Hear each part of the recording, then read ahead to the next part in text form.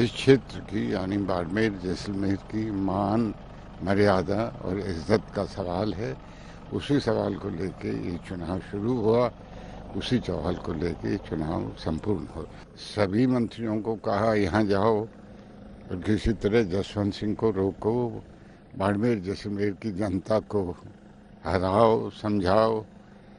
जातिगत राजनीति और जातिगत मंत्रियों का चयन होकर के हर जाति के, मुझे बहुत खेद है कि भारतीय जनता पार्टी उनका नेतृत्व इस प्रकार की जातिगत राजनीति पर उतर आया है।